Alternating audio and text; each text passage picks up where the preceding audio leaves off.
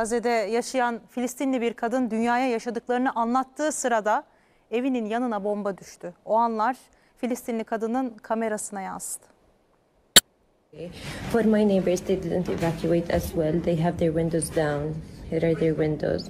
And here is the family. They're gathering all together, also in a place far away from the window.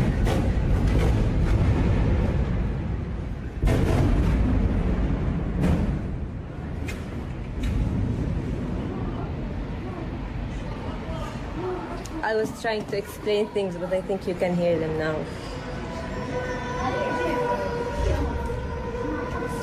I'll go check on my parents.